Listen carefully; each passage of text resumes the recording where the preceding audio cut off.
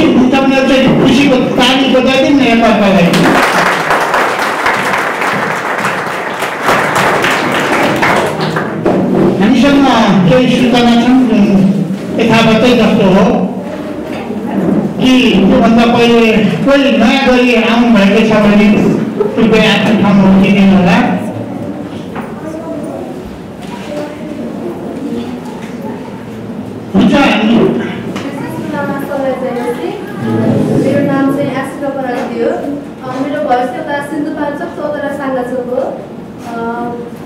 म चाहिँ अहिले एप्समा बस्छु र आज चाहिँ म परमेश्वरको महिमा अनि परमेश्वरको आराधना गर्न चाहिँ म यहाँसम्म चाहिँ मेरो दिदीसँग चाहिँ म साथ पाइकन चाहिँ म यहाँसम्म आउन पाएको छु। मेरो परमेश्वरलाई धेरै धेरै धन्यवाद भएको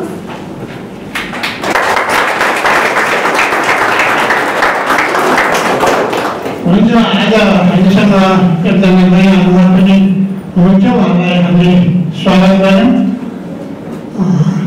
अनि अब केही हामी सूचना पनि भन्दैछौँ हामीहरू चिज परिचित नै छौँ अनि उता ट्रेन राहुल पास्टर सुरेन्द्रको अछाको पास्टर सुरेन्द्रको ड्याडी ट्रेन राहुल र कविता पनि आउनुभएको छ उहाँलाई पनि स्वागत छ हुन्छ हामीसँग केही सूचना छन् सूचना गर्ने यथावत नै छ कि हाम्रा हरेक सेवा साप्ताहिक सेवा समितिहरू बाइबल कलेजहरू यथावतै सोमबारदेखि शनिबारैसम्म शनिबार कहिलेको सेवापति पनि हुन्छ.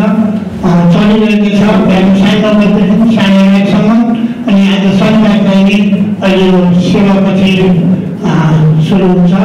बाइबल कलेजहरू अनि मङ्गलबार ट्रेनको सन्देशबाट राजनबाट त्यो हामीले सुन्दै आएका छौँ अनि अरूलाई पनि सुनाउँ हामी त्यसबाट धेरै आशिषित भएका छौँ धेरै बाइबल कलेज स्टुडेन्ट्सहरू पनि आउनु भएको छ हाम्रो ट्रेनको सन्देश सुनेर अनि बुधबार हाम्रा पास्टर सिडनीसँगको यसपालि हुन्छ है पास्टर सिडनीसँग को सङ्गति हुन्छ साढे के छ दसदेखि सात दससम्म एक घन्टा अनि अरू जुन सङ्गतिहरू हाम्रो बेलुका सोमबार घरेलु सङ्गति सात बजीदेखि आठ हुन्छ अनि बिहिबार साढे छ बजीदेखि साढे सातसम्म टाइममा सङ्गतमा भइरहेको छ तपाईँहरू पहिला सहभागी हुनुपर्छ सहभागी नहुनुभएको छ भने पनि सहभागी हुनुहोला अरू केही छन् भने हामी पछिसम्म पनि तपाईँहरूलाई जानकारी गराउने नै छौँ अब हामी आउनुहोस् हामी अलिकति वचनबारी हेर्नेछौँ पहिलो इवनमा पहिलो इवनमा दिएको सोह्र र सत्र किनकि संसारमा भएका सबै कुराहरू शरीरको अभिलाषा आँखाहरूको अभिलाषा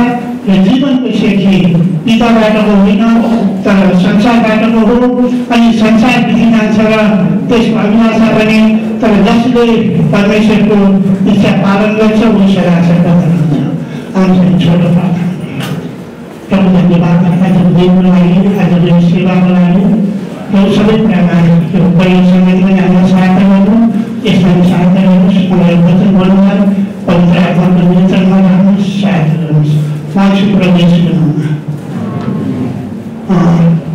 सधैँ हामी यो संसारका अभिलाषाहरू है यी बिति जाने कुराहरू क्षणिक हुन् त्यसैले हामीलाई यहाँ युवनमाले भन्दैछन् त्योभन्दा अलिकति अगाडि हामीले यसै अध्यायको बाह्रदेखि चौधसम्ममा चाहिँ हामीले हेऱ्यौँ भने तिनीहरूको पाप क्षमा भएको छ तिनीहरूको पाप क्षमा भएको छ भने अर्थात् क्रिस्मा यसुले सिकाइसक्नु रहेछ र यसुले तिनीहरूको पाप क्षमा गर्नुभएछ तिनीहरूले परमेश्वरलाई राम्ररी चिनेका छौ परमेश्वरको वचन तिनीहरूमा रहन्छ तिनीहरूले तिमीहरू बनिरहेछौ तिनीहरूले त्यस दुष्टलाई जितेका छौ भनेर त्यति भनिसकेपछि अनि यहाँ चाहिँ यो उनीहरूले के भन्छन् भने त्यो हामीलाई पनि हो कि त्यो संसारको अभिलाषा होइन शरीरको अभिलाषा आँखाको आँखाहरूको अभिलाषा जीवनको सेती यी चाहिँ परमेश्वर पिताबाट होइनन् त्यो चाहिँ संसारबाट हो अर्थात्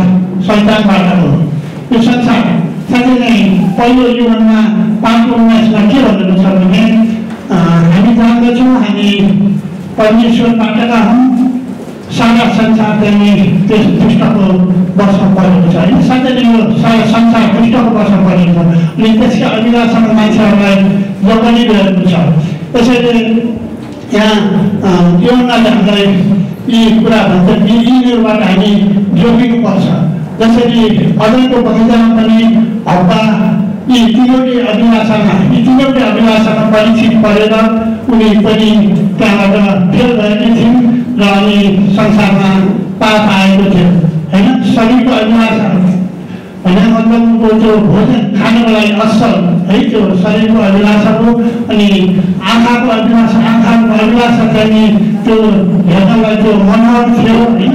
त्यो रूप अनि फेरि जीवनको सेती भने त्यहाँ त्यो बुद्धिमान बुद्धिमान बनाउनलाई चाहिँ त्यो लागेको थियो। त्यसो भएको हुनाले हामीले पनि के गर्नुपर्छ भने परीक्षाहरू जुन जसरी हौवाले त्यो परीक्षा भौतिक र आज संसारमा पाप आएको छ। साथै कुनै अभिलाषाहरूमा चाहिँ आजसम्म पनि कुनै न कुनै परीक्षामा परेर मानिसहरू त्यसमा दबाइरहेका छन्। जस्तै दाउद दाउदले दक्षिणासँग व्यविचार गर्ने किनभने तिनी औसीमा टहल्दै आएका थिए अनि एउटा निकै राम्री सुन्दरीलाई त्यहाँ गइरहेको देखे पक्षीवाला होइन? अनि त्यसपछि उनको आँखा अभिलाषाले गर्दाखेरि व्यविचार गरे र पछि दाउद अवस्था के भयो थाहा छ। आफ्नै छोरा अवसरबाट लगाइदिनु पर्यो। अनि त्यस्तै आकार हामी यो सात अध्यायमा आकारको त्यहाँ पाउँछौँ।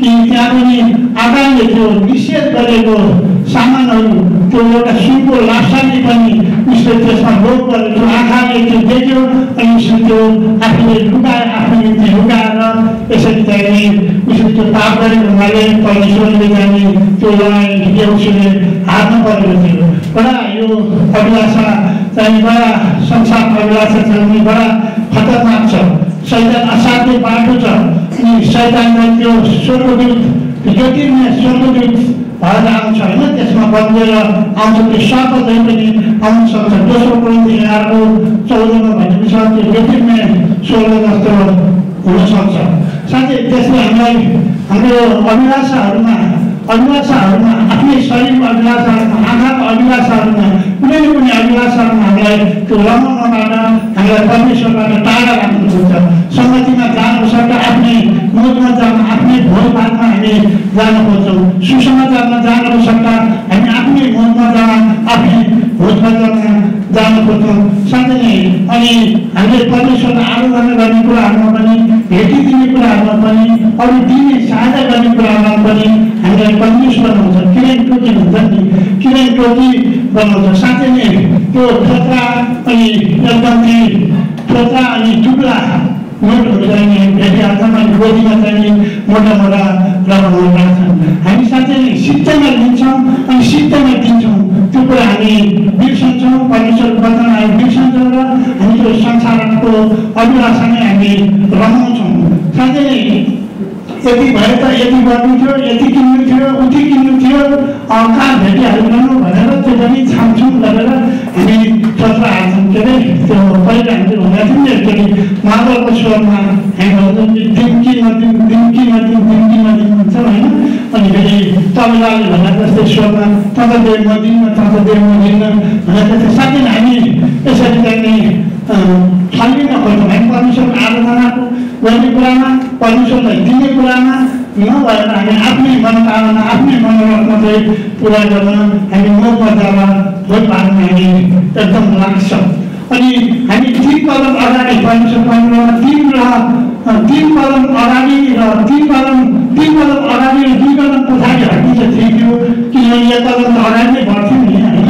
तर हामीले के गर्छौँ भने दुई कदम अगाडि गएर तिन कदम चाहिँ हामी पछाडि हट्छौँ। होइन त्यो पुरै पछाडि भयो नि साथै नै हाम्रो अभिलाषा एकदमै खतरा छ क्या यो संसारमा अभिलाषाले गर्दाखेरि हामीलाई परमेश्वरलाई धेरै टाढा लान्छ एउटा विवाहित मान्छे जाने विवाहित मान्छे जाने एउटा रेस्टुरेन्टमा गएछ रेस्टुरेन्टमा गएछ आफ्नो कुनै सामान मागेछ कुनै खानेकुराहरू मागेछ त्यसपछि मागिसकेपछि ल्याएर त्यसपछि अरूको टेबलमा हेरेछ क्या त्यो टेबलमा ओहो मैले त्यो माग्नु दिएको हुन्थ्यो अनि साथै हामीले त्यो अरूलाई हेरेछौँ होइन त्यो विवाहको केसमा भएन नि होइन त्यो अरूको राम्रो हुन्छ त्यो सबै कुरा त्यो आफूलाई जे छ आफूले जे पाइरहेको छ हामी त्यसमा कहिले पनि खुसी हुँदैनौँ साथै हामी आफ्ना बालबच्चाहरूलाई पनि त्यस गरेर बालबच्चाहरूको मनोरथ पुरा गर्छौँ परमेश्वरको वचनमा अगाडि बढाउनु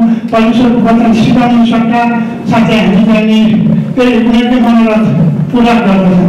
उनीहरूको मनोरथ पुरा गर्दाखेरि कस्तो भएका हुन्छ भने सहरमा एउटा बाबु छोरा घुम्न गएछन् यो घुम्न जाँदाखेरि अनि छोराले भन्छ बाबु झोला बाबा मलाई झोला किनिदिनुहोस् भनेर के चाहियो झोला भने चाहियो मलाई चाहियो किनिदिउँ न अनि त्यसमा किनिरहेका जे भने चाहिँ माग्नाको अनि झोला किन्दैछ। अनि त्यसपछि अलिक फेरि बाबु त्यो हात्तीले त त्यो हात्ती पनि किनिदिनुहोस् भन्छ।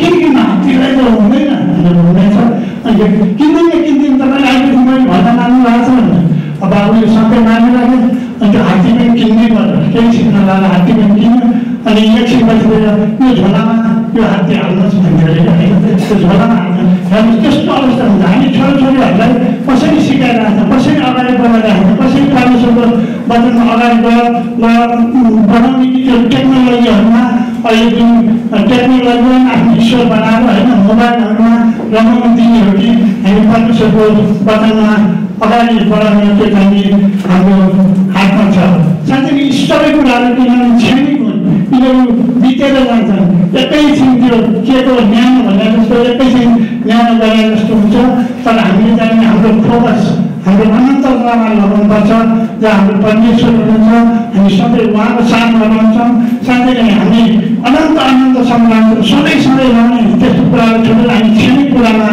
रमाएर हामीले साँच्चै बर्बादी गरिरहेका हुन्छौँ आफूलाई हामी नयाँ सृष्टि भएको कुरा होइन? हामी कति पाँचको सत्रमा हामी नयाँ सृष्टि भएको कुरा अनि फिलिपी तिनको बिचमा हामी स्वर्गको नागरिक भएको कुरा हाम्रो नयाँ नागरिकता छ होइन?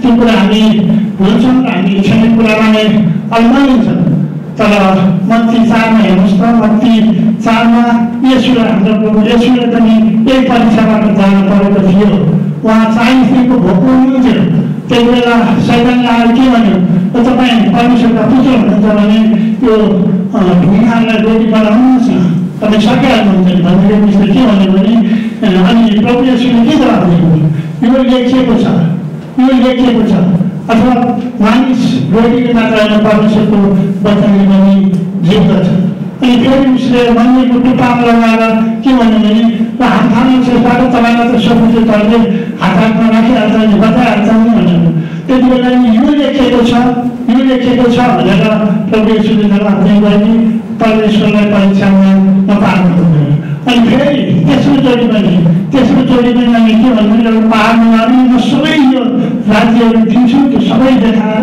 यो दिन्छु तर तपाईँले तिमीले मलाई ढोक्नुपर्छ भनेर भन्यो अनि त्यसपछि पनि यसुले भन्नुभयो कि जा हटिजा होइन त हटिजा किनभने परमेश्वर एउटै परमेश्वरलाई मात्रै धन्यवाद गर्दछौँ साथै यसुले त्यसरी जित्नुभयो हामी पनि परमेश्वरको वचन जब बोल्छौँ हामी परीक्षामा पढ्नु पऱ्यो भने त्यो हामी परमेश्वरको वचनमा जान्छौँ अनि हामी सफल हुन सक्छौँ हामीलाई विजेताभन्दा महान बनाउनु भएको कुरा हामीले भुलेका छौँ हाम्रो जीवनमा चारको चौतिसमा यसो के भन्नुभएको छ भनेदेखि परमेश्वरको इच्छा अथवा उहाँको इच्छा पुरा गर्नु र उहाँको काम सिद्धाउने मेरो भोजन हो अनि योभन्दा चारको चौतिसमा भन्नुभएको छ योभन्दा छको अडतिसमा पनि के भन्नुभएको छ मेरो इच्छा म मेरो इच्छा पुरा गर्न होइन तर परमेश्वरको इच्छा पुरा गर्ने आएको हो यसैले हामी पनि परमेश्वरको आफ्नो इच्छा होइन हाम्रो इच्छा होइन अनि छोरछोरीको इच्छा होइन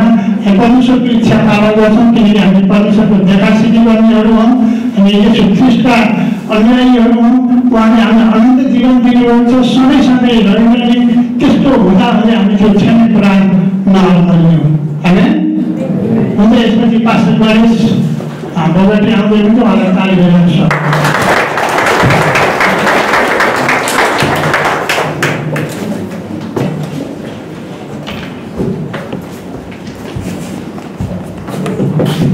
ओके हामी सबैजना एकचोटि उठेर हाम्रो वरिपरि भएको मानिसलाई तपाईँलाई आजको सङ्गतिमा स्वागत छ तपाईँ म अत्यन्तै खुसी छु भनेर केही उत्साहको वचनहरू बोल्न सक्नुहुन्छ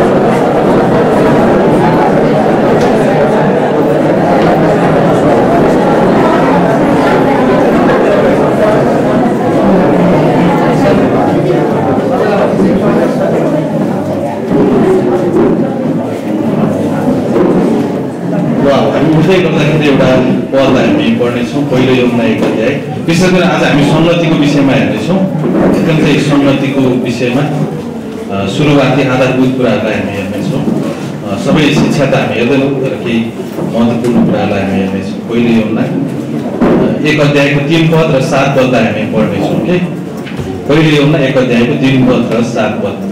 तिमीहरूले पनि हामीसँग सङ्गति पाओ भनेर हामीले जे देखेका र सुनेका छौँ सो कुरा तिमीहरूलाई सुनाउँछौँ। अनि हाम्रा हाम्रो सङ्गति साँच्चै पितासँग र उहाँका पुत्र यीशुख्रिस्टसँग छ। यो पदले बताउँदछ कि हरेक विश्वासीको सङ्गति परमेश्वरसँग छ। कोसँग छ? परमेश्वरसँग छ। भन्नुहोस् त मेरो सङ्गति परमेश्वरसँग छ। त्यसपछि सात पद पढौँ। तर जसरी उहाँ ज्योतिमा हुनुहुन्छ उसरी नै हामी ज्योतिमा हिँड्छौँ भने एक अर्कासँग हाम्रो सङ्गति हुन्छ। यहाँ चाहिँ फेरि एक अर्कासँग हाम्रो सङ्गति छ। एक अर्का भनेको जो यसो हेर्नुहोस् त वरिपरि पुग्नुहोस् यसो नघुम्नुहोस् फेरि धर्नु होला एकछिनमा यसरी हेर्नुहोस् होइन एक अर्का भनेको हामी नै हो जतिजना यहाँ छौँ देख्छौँ हामी हो एक अर्का भनेको भनेपछि तिन पदले चाहिँ भन्दछ परमेश्वरसँग हाम्रो सङ्गति छ अनि सात पदले चाहिँ के भन्छ एक अर्कासँग विश्वासीसँग भन्नु मतलब के हो यो चाहिँ यो चाहिँ तपाईँ हो हेर्नुहोस् त त्यहाँ चाहिँ देख्नुहुन्छ मेरो हात अलिकति सानो बनाइदियो अलिकति लामो बनाउनु पर्ने हो होइन यो चाहिँ म भनेर भन्न सक्नुहुन्छ म भाइ गणेश भनेर राख्थेँ तपाईँले आफ्नो नाम यसमा राख्न सक्नुहुन्छ तपाईँको आँखा छ अरू म बनाउँदिनँ जस यो म मान्छे हो। अनि त्यसपछि हाम्रो परमेश्वरसँग सङ्गति छ होइन? चार तिन पदले भने अनुसार। अन्त परमेश्वरको हामी चित्र बनाउन सक्दैनौँ तर पनि बुझ्नको निम्ति परमेश्वर। यो पदले भने अनुसार परमेश्वरसँग हाम्रो सङ्गति छ। त्यो चाहिँ पहिला सबभन्दा पहिला परमेश्वरसँग हाम्रो सङ्गति छ। अनि त्यसपछि फेरि एक अर्कासँग होइन? यता वरिपरि हामी हेर्छौँ भने एक अर्कालाई हामी देख्छौँ। एक अर्का भनेको अरू विश्वासीहरू अनि जुन हामी वरिपरि देख्छौँ होइन? एक अर्कासँग हाम्रो के छ? सङ्गति छ ओके? बुझ्नुभयो यो कुरालाई? कतिले बुझ्नु भएको भन्नुहोस् त। ओके प्रभु हामी धन्यवाद दिन्छौँ यो वचनलाई तपाईँले आशिष दिनुहोस्। माग्छौँ प्रवेश क्रिस्टको नाउँमा। हामी बस्न सक्नुहुन्छ अब सङ्गतिको विषयमा विश्वासीले जान्न अत्यन्तै महत्त्वपूर्ण छ। यसको परिभाषा यसको प्रयोग यसको अभ्यासलाई विश्वासीहरूले अत्यन्तै नजिकबाट चिन्न जरुरी छ। कि यता ध्यान छ हजुरहरूको?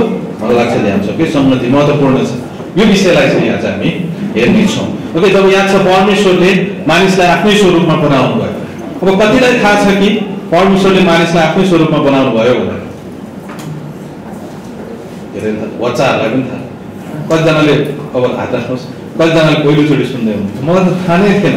परमेश्वरले हामीलाई आफ्नै स्वरूपमा बनाउनु भएको कुरा त थाहा नै थिएन। भन्ने कतिजना हुनुहुन्छ?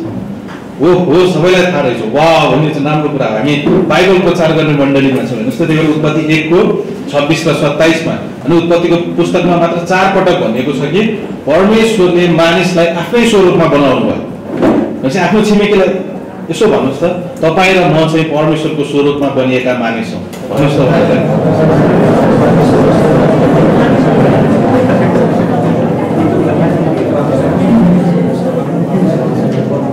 ओके जब जब परमेश्वरले अब संसारमा तपाईँले हेर्नुहुन्छ भने मानिस बाँदरबाट आएको हो भनेर भन्छ।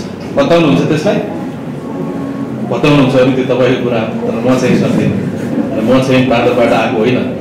म सुन्दर छु होइन परमेश्वरको किन किन हामी एकअर्कालाई सुन्दर देख्छौँ? किन हामी एकअर्कालाई बाँदर जस्तो देख्दैनौँ? तर एकअर्कालाई परमेश्वर जस्तो देख्छौँ? कारण बाइबल परमेश्वरको वचनले घोषणा गर्दछ कि हामी परमेश्वरको स्वरूपमा बनिएका मानिसहरू हौँ। भनेपछि हामी एक हिसाबले परमेश्वर जस्तै छौँ।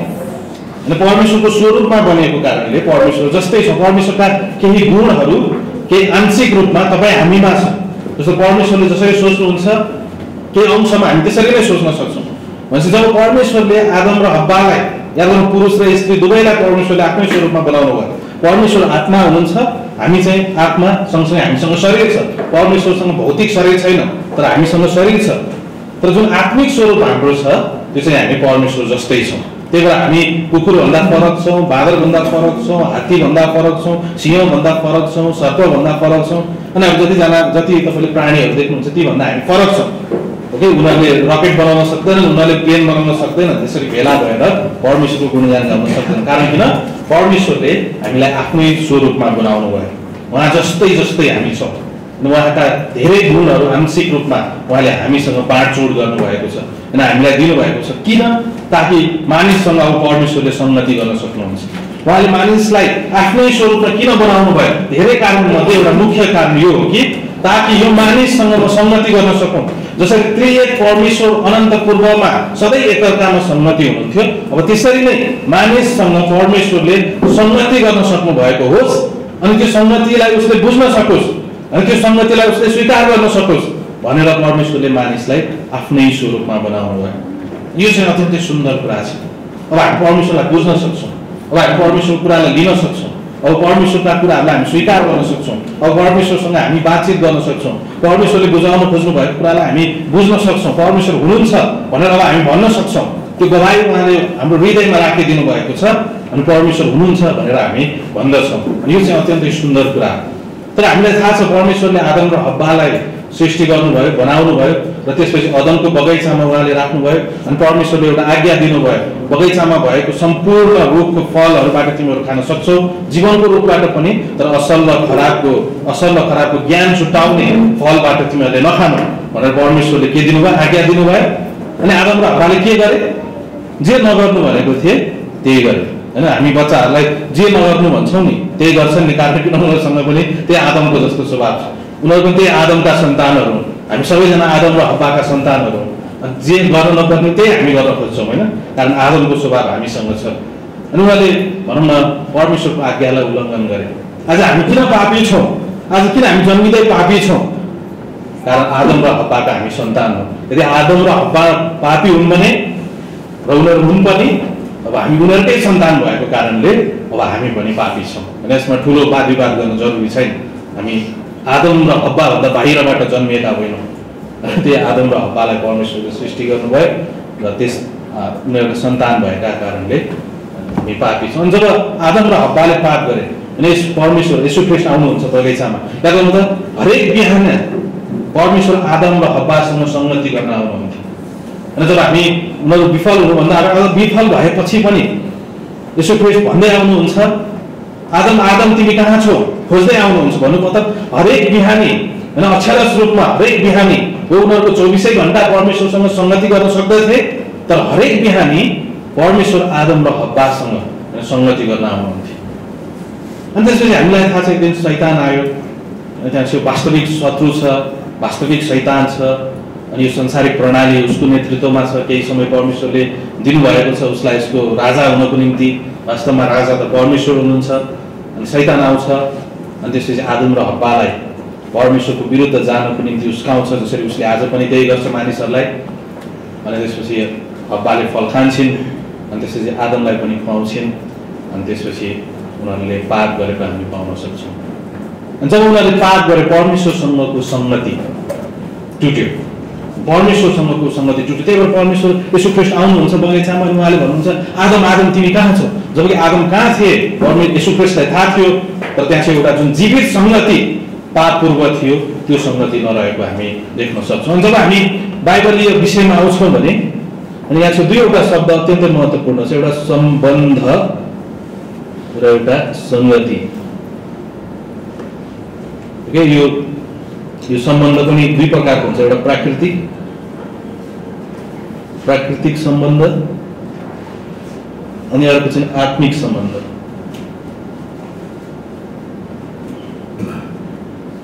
सङ्गति त हाम्रो विषय भइहाल्यो होइन यही विषयमा हामी चर्चा गर्दैछौँ। त्यो अब त्यहाँ त हामी सबैजना जन्मिएका हौँ नजन्मिएको व्यक्ति कोही हुनुहुन्छ आफ्नो बुवा मम्मीद्वारा मैले हात उठाउनु नहुने थियो होइन झुक्केर उठ्यो। कोही हुनुहुन्छ भन्नु हामी छैनौँ। होइन हामी हामी एक दिन चाहिँ वा परमेश्वरलाई धन्यवाद होस् होइन। अद्भुत उहाँले हामीलाई संसारमा आउनलाई दिनुभयो। अनि हामीले संसारमा आयौँ हाम्रो जन्म भयो। अनि हाम्रो जन्म भएको कारणले बुवा मम्मीसँग हाम्रो बुवा मम्मीको सम्बन्ध छ। दिदी बहिनीसँग हाम्रो दिदी बहिनीको दाजुभाइसँगको दाजु दाजुभाइको त्यसपछि काका काकी मामा माइजू होइन हजुरबा हजुरआमा त्यसपछि आफै होइन हामीलाई थाहा छ। हामी उनीहरूसँग सम्बन्धमा बाँध्यौँ। हामी यो संसारमा जन्मिएको कारणले अब मेरो बुवा मम्मी हुनुहुन्छ अब मेरो दाजुभाइ छ अब मेरो मामा माइजू काका काकी अब सबै सम्बन्धहरू छ। यो चाहिँ एउटा प्राकृतिक सम्बन्ध हो। यो महत्त्वपूर्ण सम्बन्ध हो। होइन परमेश्वरले यसरी नै हामीलाई संसारमा पठाउनु भयो सुन्दर छ। अनि यो चाहिँ एउटा प्राकृतिक सम्बन्ध हो। तर त्योभन्दा माथि याद गर्नु जसरी हामी एक दिन हाम्रो आमाको कोखबाट जन्मिएका थियौँ त्यसरी नै हामी एक दिन परमेश्वरको परिवारमा जन्मियौँ जसलाई हामी नयाँ जन्म भन्छौँ। त्यही कुरा एक योगमा तिन अध्यायमा यसो ख्रिस्टले निकोदमसलाई सिकाउनुहुन्छ जबसम्म नयाँ जन्म गरी कोही व्यक्ति जन्मिँदैन भने उसले परमेश्वरको राज्यलाई देख्न सक्दैन। भनेपछि जुन दिन मैले यसो ख्रिस्टलाई ग्रहण गरेँ म परमेश्वरको परिवारमा जन्मेँ। त्यसलाई हामी नयाँ जन्म भन्छौँ। हामीलाई कसैले यसो ख्रिस्टको विषयमा बतायो? हामीले थाहा पायौँ यसो ख्रिस्टमा मुक्ति छ यसो ख्रिस्ट क्रोसमा मेरो निम्ति टाँगिनु भएको रहेछ उहाँ गाडिनु भएको रहेछ तेस्रो दिन बौरी उठ्नु भएको रहेछ। उहाँले अपरम्पार अनुग्रह मेरो अगाडि प्रस्तुत गर्नुभएको रहेछ कृपा प्रस्तुत गर्नुभएको रहेछ। ओ म मुक्ति पाउन चाहन्छु म यसो ख्रिस्टलाई चिन्न चाहन्छु म अनन्त जीवन पाउन चाहन्छु अनि हामीले एक समयमा यसो ख्रिस्टलाई ग्रहण गरेका थियौँ विश्वास गरेका थियौँ। थाहा छ? जसरी हामी एक दिन हाम्रो आमाको कोखबाट यस संसारमा जन्म लिएका थियौँ त्यसरी नै जुन दिन हामीले यसो ख्रिस्टलाई ग्रहण गऱ्यौँ यसो ख्रिस्टमाथि विश्वास गऱ्यौँ हामी परमेश्वरको परिवारमा जन्म लियौँ। हामी परमेश्वरका सन्तान भयौँ। अनि त्यो पो हो त होइन वास्तविक बर्थडे भनेको वास्तविक जन्मदिन भनेको। जुन दिन हामीले यसो ख्रिस्टलाई ग्रहण गऱ्यौँ विश्वास गऱ्यौँ त्यही दिन हामी परमेश्वरको परिवारमा जन्म लियौँ। त्यसलाई हामी नयाँ जन्म भन्छौँ। परमेश्वरको परिवारमा जन्म लिएको दिन अब हामी त्यहाँबाट यमुना एकको बाह्र अनुसार जतिले उहाँलाई ग्रहण गरे ख्रिस्टलाई ग्रहण गरे तिनीहरूलाई परमेश्वरले आफ्नो सन्तान हुने अधिकार दिनुभयो। अब हामी परमेश्वरका सन्तान हौँ अब हामी परमेश्वरका छोराछोरी हौँ अब हामी परमेश्वरको घरानाका बहुमूल्य सदस्यहरू हौँ। त्यो बाइबलले भन्दछ जुन दिन विश्वासीले जुन दिन एउटा व्यक्तिले ख्रिस्टमाथि विश्वास गर्दछ त्यो दिनदेखि ऊ यशु ख्रिस्टको शरीरको महत्त्वपूर्ण अङ्ग हुँदछ। भन्नु मतलब यसो ख्रिस्ट हाम्रो शिर हुनुहुन्छ। बाह्र वा चौध अध्याय विशेष गरेर चौध अध्याय यसो ख्रिस्ट हाम्रो शिर हुनुहुन्छ। अनि हामी उहाँका शरीरका अङ्गहरू हौँ। हामी के हौँ उहाँका शरीरका? अङ्गहरू हौँ। भन्नुहोस् त। अङ्ग भन्नुको मतलब के हो? हामी एक अर्कासँग गाँसिएका छौँ। चाहे हाम्रो पृष्ठभूमि जस्तो सुकै होस् चाहे हामी जहाँसुकैबाट किन नआएका हौँ हामी परमेश्वरको परिवारमा जन्म लिएको कारणले यसो ख्रिस्ट हाम्रो शिर हुनुहुन्छ र उहाँका हामी शरीर हौँ। र शरीरका अङ्गहरू हौँ। अब हामी शरीरका अङ्गहरू भएको कारणले हामी एक अर्कासँग गाँसिएका छौँ। नभए हामी एक अर्कासँग जोडिएका छौँ। अब हामी परमेश्वरको घरानाका भनौँ न के हौँ हामी? छोराछोरी हौँ। यसलाई चाहिँ हामी भन्छौँ आत्मिक सम्बन्ध। र जुन दिन मैले ख्रिस्टलाई विश्वास गरेँ त्यो दिनदेखि म परमेश्वरको परिवारमा जन्मिएँ। अब म परमेश्वरको छोराछोरी हुँ। अब म परमेश्वरको घरानाको परमेश्वरको परिवारको सदस्य हुँ। अब मेरो पिता परमेश्वर हुनुहुन्छ म उहाँको छोराछोरी हुँ अनि यसु ख्रिस्टको जे जे हो अब त्यही त्यही यसु ख्रिस्टमा मेरो पनि भएको छ। यसु ख्रिस्टसँगै अब म उत्तराधिकारी भएको छु पैतृक सम्पत्तिको हकवाला भएको छु अनि यो चाहिँ हो आत्मिक सम्बन्ध। अनि हाम्रो प्राकृतिक सम्बन्ध भन्दा यो आत्मिक सम्बन्धलाई परमेश्वरले माथि राखेको चाहनुहुन्छ। हो यो प्राकृतिक सम्बन्ध त्यो निरन्तर छ। त्यसलाई अवमूल्यन हामी गर्दैनौँ। तर त्योभन्दा माथि यो आत्मिक सम्बन्धलाई होइन परमेश्वरले राखेको चाहनुहुन्छ। हामी परमेश्वरको परिवारका छोराछोरी हौँ सदस्य हौँ अनि यसले चाहिँ अत्यन्तै राम्रो कुराहरू बताउँदछन्। यो चाहिँ हो सम्बन्ध। अझ सम्बन्धभन्दा पनि गहिराइमा सङ्गतिमा गएको परमेश्वरले चाहनुहुन्छ। होइन जब हामी भन्दछौँ "ओ, तपाईँको तपाईँ र म एउटै जिल्लावासी। तपाईँको र मेरो थर एउटै छ होइन तपाईँको र मेरो देश एउटै छ अथवा तपाईँको र मेरो जिल्ला एउटै छ। आउनुहोस् हामी बसौँ सँगै बसौँ। त्यो चाहिँ यदि हामी त्यसो गर्छौँ भने त्यो पनि हामी गर्न सक्छौँ। त्यसलाई मैले इन्कार गर्न खोजेको होइन। तर त्यो चाहिँ सम्बन्ध हो। तर सम्मति त्यतिखेर हुन्छ जसको विषयमा आज हामी परिचर्चा गर्दैछौँ। भनेपछि हामी परमेश्वरसँग हाम्रो सम्बन्ध छ। यो सम्बन्ध चाहिँ अत्यन्तै महत्त्वपूर्ण छ। यो सम्बन्ध चाहिँ कहिले पनि टुट्दैन। अनि सङ्गति चाहिँ टुट्छ जब हामी पापमा जिउँछौँ भने सङ्गति टुट्छ यसलाई एकछिनमा हामी व्याख्या गर्नेछौँ। तर नयाँ जन्म पाएको कारणले र परमेश्वरको परिवारमा हामीले जन्म लिएको कारणले परमेश्वरसँगको सम्बन्ध हाम्रो कहिले पनि टुट्दैन जेसुकै होस् चाहे जसले जेसुकै सिकाओस् बाइबल स्पष्ट छ। जसरी म आमाको कोखबाट एकचोटि जन्मेपछि फेरि नजन्मिन सक्छु। मेरो बुवा मम्मीले मलाई मन पराए पनि मन नपराए पनि म उहाँको छोरा हो कारण किन म उहाँद्वारा नै जन्मिएको हुँ? अब म नजन्मिन सक्दिनँ। त्यसरी नै जब हामीले ख्रिस्टलाई विश्वास गरेपछि परमेश्वरको परिवारमा जन्मिन्छौँ अब म नजन्मिन सक्दिनँ। परमेश्वरसँगको मेरो यो नाता सदाको निम्ति। चाहे जेसुकै होस् जसले जुनसुकै नीति नियम अथवा जुनसुकै शिक्षा सिकाओस् यो सम्बन्ध कहिले पनि टुट्दैन। अब म अनन्त रूपले अब स्वर्गको नागरिक हो यसमा परिवर्तन हुनेवाला छैन। अब म ख्रिस्टसँग सधैँ स्वर्गमा हुनेछु मसँग अनन्त जीवन छ जेसुकै होस् यदि म साँचो विश्वासी अथवा नयाँ जन्म पाएको विश्वासी हो भने अब म फेरि नजन्मिन सक्दिनँ परमेश्वरले पनि त्यसो गर्नुहुन्न परमेश्वरले पनि त्यसो गर्नुहुन्न कारण म एकचोटि परमेश्वरको परिवारमा जन्म लिइसकेँ अनि यो चाहिँ महत्त्वपूर्ण कुरा हो अनि यो सम्बन्ध अब कहिले पनि टुट्दैन पापले पनि कुनै पनि कुराले यो सम्बन्ध टुट्दैन तर हामीले एउटा कुरा थाहा छ जब विश्वासी पापमा जिउँछ भने परमेश्वरसँगको उसको सङ्गति चाहिँ टुट्छ। उसको सम्बन्ध टुट्दैन तर उसको सङ्गति टुट्छ। अनि जब विश्वासीले परमेश्वर कहाँ गएर आफ्नो पापलाई स्वीकार्छ मानिदिन्छ भने पहिले योभन्दा एकको आठदेखि दस अनुसार त्यो सङ्गति फेरि पुनः स्थापित हुन्छ।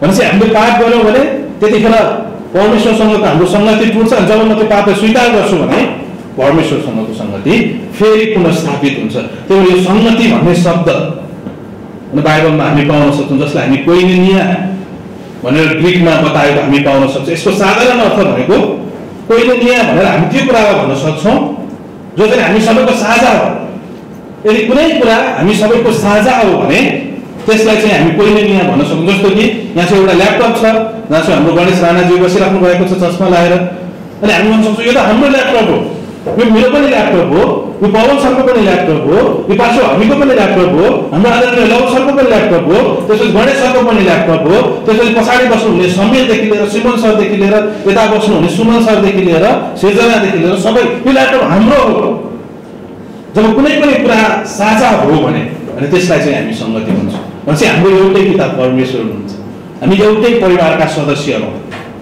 अनि हाम्रो परमेश्वरसँग जस्तो कि बिहानको सङ्गतिमा हामीले उदाहरण दिएका थियौँ अनि एउटा परिवारमा चारजना छ। बुवा मम्मी छोरा छोरी राम्रो घर छ राम्रो किचन छ राम्रो बेडरुमहरू छ सबै कुराहरू ठिक छ। तर कस्तो होला? अनि छोरी आफ्नो काममा व्यस्त छोरा आफ्नो काममा व्यस्त बुवा आफ्नो काममा व्यस्त आमा आफ्नो काममा काममा व्यस्त जब उनीहरूसँग सम्बन्ध छ एकअर्का छोराछोरी बुवा मम्मीको सम्बन्ध छ तर उनीहरू एक महिनासम्म कसैसँग बोलेनन् भने छोरा बिहान उठ्छ आफ्नो काममा काममा जान्छ छोरी आफ्नो काममा जान्छ बुवा मम्मी आफ्नो काममा जान्छन् उनीहरू आफै आफैमा आफै आफैमा व्यस्त छन्। एक महिना त्यसरी जान्छ त्यसपछि दुई महिना त्यसरी जान्छ तिन महिना त्यसरी जान्छ चार महिना त्यसरी जान्छ कहिले पनि सँगै खाएको छैन अनि कहिले पनि एकअर्कालाई के छ भनेर बोलचाल पनि भएको छैन। भने त्यो के भन्न सक्छौँ हामी त्यो परिवार?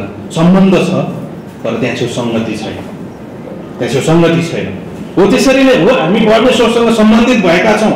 यो राम्रो कुरा तर त्योभन्दा गहिरोमा गएर परमेश्वरसँगको निरन्तर सङ्गतिमा रहेको परमेश्वर चाहनुहुन्छ। त्यही भएर कोही नै कुनै पनि कुरा जुन सबैको साझा हो त्यसलाई चाहिँ हामी के भन्छौँ?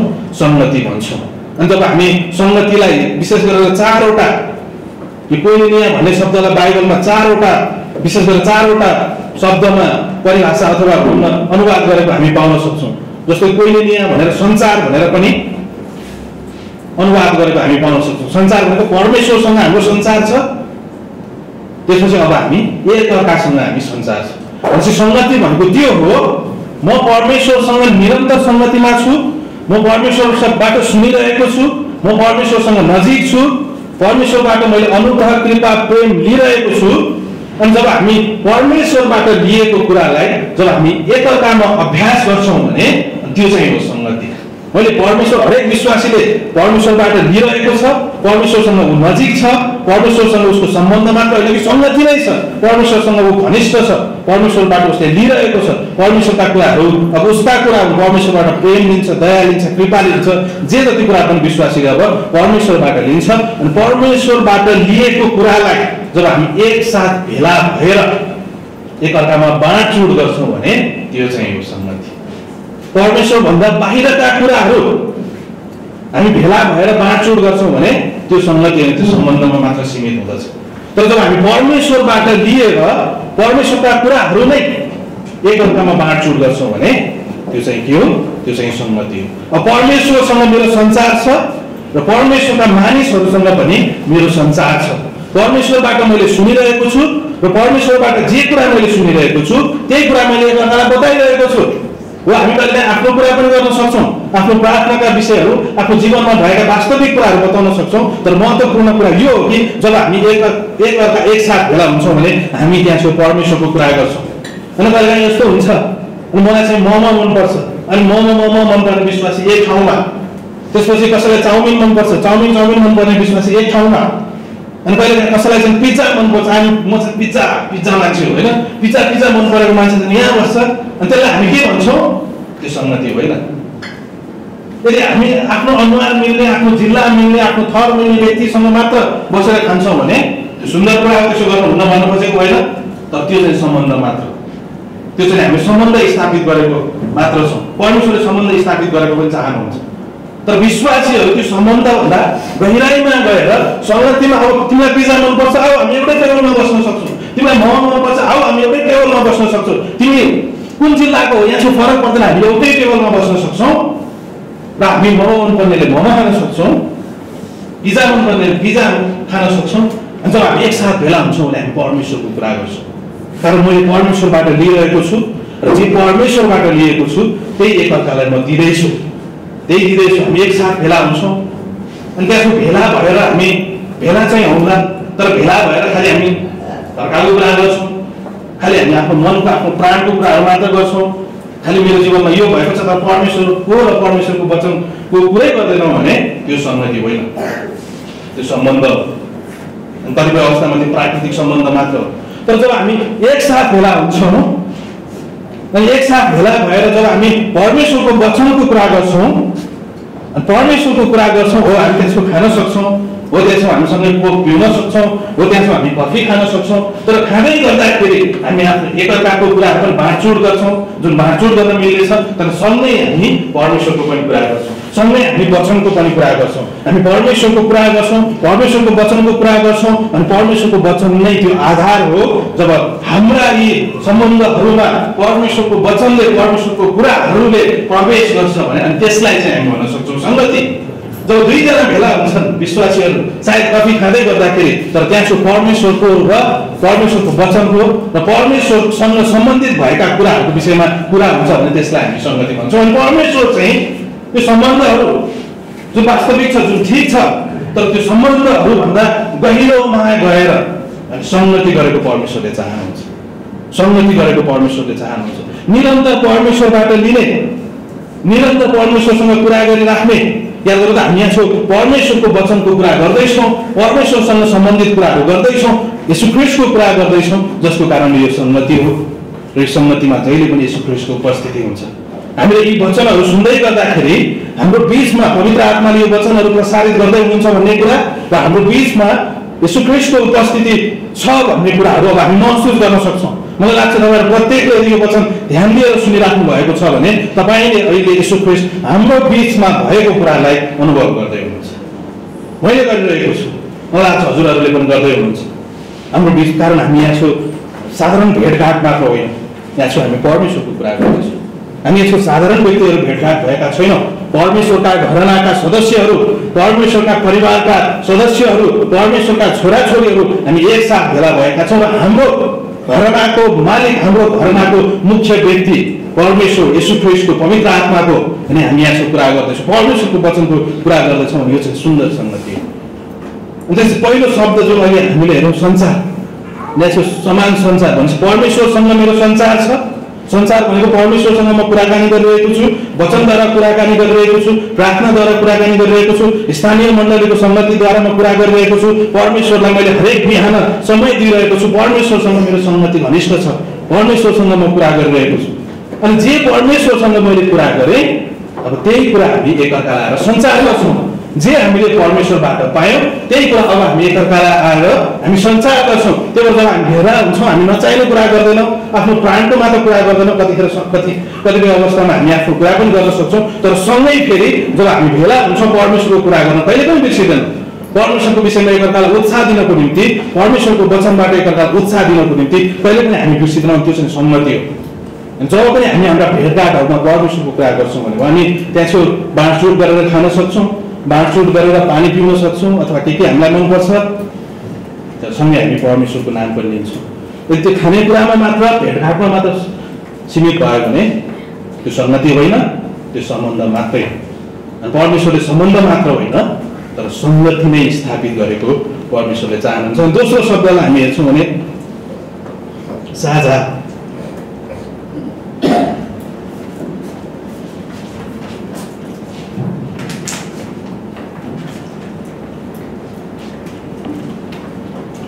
भयो राम्रो छैन। सहकारी मलाई चाहिँ जति पनि सहकारी भन्ने शब्द छ यो बाइबलबाटै आएको हो। किनभने क्रिस्चियनहरूले नै ल्याएको जो सहकारीको सिद्धान्त क्रिस्चियनहरूले नै ल्याएको हामी पाउन सक्छौँ अनि त्यसपछि अथवा भोग होइन यसलाई सही अर्थमा म प्रयोग गर्दैछु।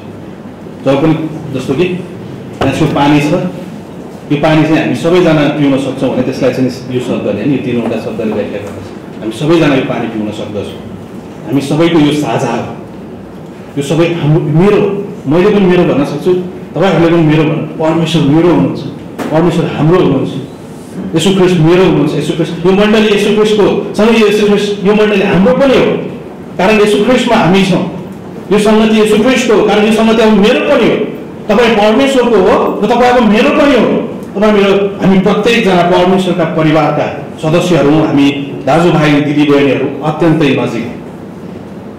जब हामी गलाती छ अध्यायको दस पदमा हामी जान्छौँ भने त्यो पद तपाईँले घरमा गएर पढ्न सक्नुहुन्छ अरू कुनै सम्बन्ध भन्दा यो परमेश्वरमा भएको सम्बन्धलाई सबभन्दा माथि राखेको परमेश्वरले चाहनुहुन्छ सबैलाई भलाइ गर तर विशेष गरेर परमेश्वरको घरानालाई सहयोग गर परमेश्वरको घरानालाई पहिलो प्राथमिकतामा राखेको परमेश्वर चाहनुहुन्छ अर्को तेस्रो शब्द भनेको योगदान